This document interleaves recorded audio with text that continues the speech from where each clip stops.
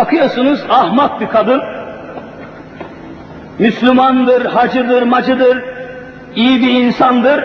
Fakat konuşmasına, kelamına, sözüne, hareketine dikkat etmiyor ve bir kelimeyle imanını kaybediyor. Konuşuyorsunuz, bazı dertler, bazı meseleler, bazı sıkıntılar, bazı zorluklar, zorbalıklar ortaya çıkıyor.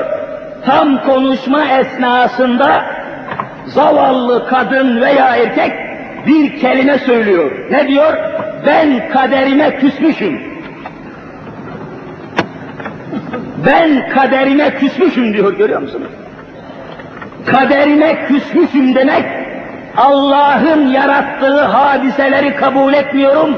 Allah'a dargınım, Allah ile alakamı kestim demektir. Ben kaderime küsmüşüm denir mi ya? Bazıları daha da ileri gitmek suretiyle şöyle bir kelime kullanıyor. Sabahleyin Müslüman, akşamleyin kafir oluyor. Bir kelimeyle, bir söz ile ne diyor? Kader bana oyun oynadı diyor. Kader adama oyun. Kader ne demek? Kader Allah'ın tayini ve tespitidir. Ne demek istiyor? Allah öyle bir zalim ki bana oyun oynadı. Allah beni atlattı. Allah beni aldattı demek istiyor. bir kelime görüyor musun? İnsan Müslüman olarak kalamıyor ve Müslüman kalmanın çilesine katlanamıyor. Akşam mümin sabah kafir oluyor. Bir kelimeyle. Ne kadar sabretmek, ne kadar sıkı durmak icap ediyor görüyor musun? Kader bana oyun oynadı. Ben kaderime küsmüşüm. Hele bir takım kadınlar ve kızlar eğer ge- evlenmeleri geciktiği zaman bir kız bir kız karşısına çıkan bir Müslümanla evlenmiyor. Fakirdir diye, işte şöyledir, böyledir diye evlenmiyor.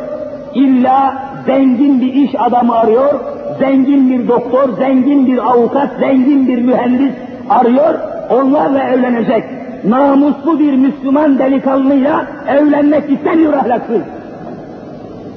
Elinde olduğu halde evlenmiyor, geciktiriyor, zengin bir iş adamı arıyor, zengin bir mühendis arıyor, çoğu zaman bulamıyor, gecikiyor, evlenemeyince de benim kaderim bağlandı diye bir kelime kullanıyor.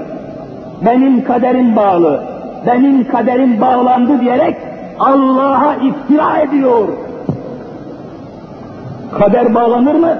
Allahu Teala'nın yazdığı kader günü geldiği zaman mutlaka yerine gelecek. Kimse mani olamaz. Allah da kimsenin kaderini bağlamaz. Benim kaderim bağlı demek Allah'a iftiradır. Bir kelimeyle görüyor musunuz?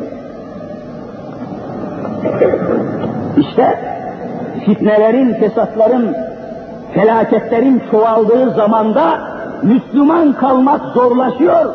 Habibullah bunu haber veriyor. Ve dünyalık karşısında dinini satacak diyor. Tembih ediyor, dikkat